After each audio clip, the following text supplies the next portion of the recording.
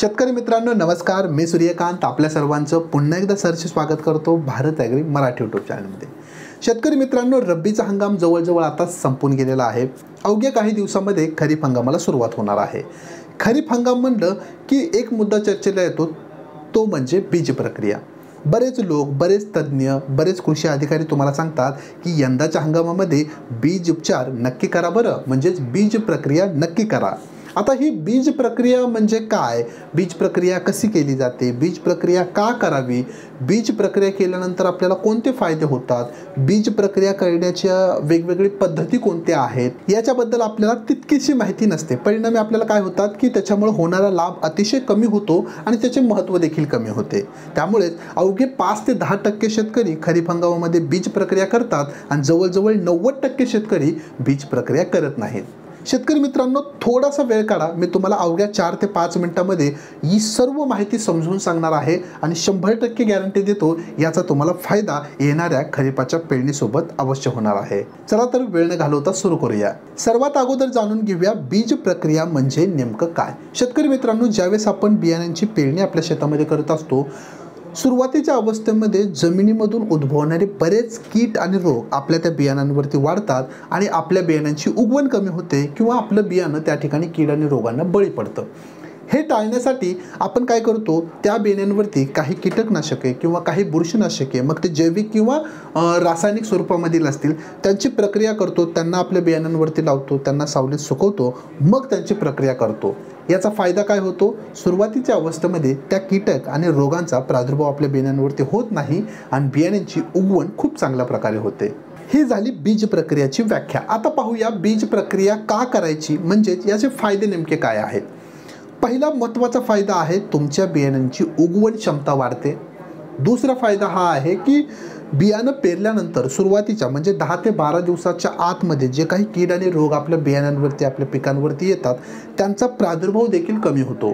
तिसरा फायदा परिणामी आपला उत्पादनाचा खर्च कमी होतो आणि चौथा सर्वात महत्त्वाचा फायदा की आपल्याला उत्पन्न म्हणजेच उत्पादन चांगलं मिळतं आणि त्यापासून आपल्याला निरोगी पीक काढणं शक्य होतं. आता पाहू या बीज प्रक्रिया करण्याच्या नेमक्या कोणकोणत्या पद्धती आहेत? पद्धती सोप्या आहेत तीन पद्धती आहेत. पहिली मिठाच्या पाण्याची प्रक्रिया दुसरी रासायनिक कीटकनाशके किंवा बुरशीनाशकांची प्रक्रिया आणि तिसरी ती म्हणजे जीवाणू संवर्धकाची प्रक्रिया. चला तर सर्वात अगोदर पाहूया मिठाच्या द्रावणाची प्रक्रिया म्हणजे नेमकं काय? शेतकरी मित्रांनो आपल्याला काय करायचं आहे? दोन टक्के मिठाच्या पाण्याचं द्रावण तयार करायचं आहे. म्हणजेच काय? आता याच्यामध्ये मीठ किती टाकायचं आहे? एक लिटर पाण्यामध्ये आपल्याला वीस ग्रॅम मीठ टाकायचं आहे. जितकं तुमचं बियाणं असेल आवश्यकतेनुसार हे तुम्ही द्रावण तयार करून घ्या. द्रावण तयार केल्यानंतर त्याच्यामध्ये आपल्याला संपूर्ण बियाणं बुडवायचं आहे. बुडवल्यानंतर दोन ते तीन मिनटं ठेवायचं आहे. थोडंसं ढवळा. तुम्हाला किडलेलं सडलेलं कुजलेलं सर्व बियाणं वर तरंगलेलं दिसून येईल. ते बियाणं काढून टाका आणि जे काही निरोगी बियाणं आहे ते तुमच्या बुडाशी तुम्हाला साठलेलं दिसून येईल.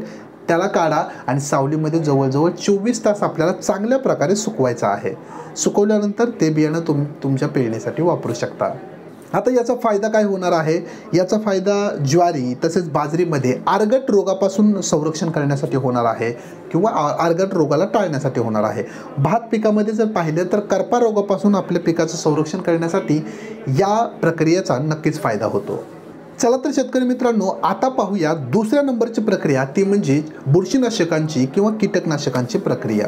याच्यामध्ये आपल्याला काय करायचं आहे? बुरशीनाशकामध्ये जर पाहिलं तर एक किलो बियाण्यासाठी तुम्हाला बावीस तीन ज्याच्यामध्ये आपल्याला कार्बन डेन्झिम पाच टक्के डब्ल्यू पी फॉर्मुलेशनमध्ये मिळतं. एक बुरशीनाशक घेतलं समजा बावीस तीन घेतलं आपण दोन ग्रॅम घ्यायचा आहे. याचमध्ये आपल्याला एक कीटकनाशक म्हणजेच काय? तुम्ही जर समजा कॉन्फिडॉर घेतलं ज्याच्यामध्ये आपल्याला एमिडाक्लोपिड सतरा पूर्णांक आठ टक्क्यामध्ये एस एल फॉर्मेशनमध्ये मिळतं. हे अर्धा मिली घ्यायचं आहे. बावीस तीन दोन ग्रॅम कॉन्फिडॉर अर्धा मिली. हे प्रति किलो बियाण्यांप्रमाणे आपल्याला काय करायचं आहे? आपल्या बियाण्यांवरती चोळायचं आहे.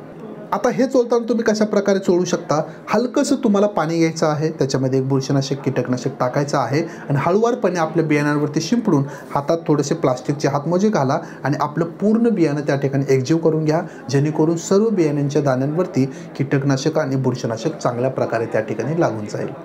आता हे झालं जर तुमच्याकडे बीज असतील तर. समजा आपण बऱ्याच वेळा खरीपामध्ये रोपांपासून लागवड करतो. त्यावेळेस आपल्याला रोपांच्या मुळांवरती प्रक्रिया करावी लागते.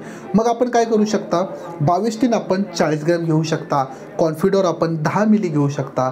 प्रति दहा लिटर पाण्यामध्ये मिसळून एक द्रावण तयार करून घ्या. त्यानंतर तुमच्या रोपांचे जे ट्रे आहेत ते फक्त मुळं खालचा गड्डा बुडतील एवढी बुडवा आणि काढा. थोड्या वेळ सावलीमध्ये सुकवा आणि त्यांना तात्काळ तुम्ही त्या ठिकाणी लागवडीसाठी वापरू शकता. आता हे झालं रासायनिक कीटकनाशक आणि बुरशीनाशकाबद्दल. आता याच्यामध्ये तुम्ही जैविक बुरशीनाशकाचा देखील समावेश करू शकता. मार्केटमध्ये तुम्हाला आनंद ॲग्रोकेअरचं डॉक्टर बॅक्टोज डर्मज नावानं एक औषध मिळणार आहे ज्याच्यामध्ये ट्रायकोडर्मा विरिडी खूप चांगल्या पद्धतीने टाकलेलं आहे.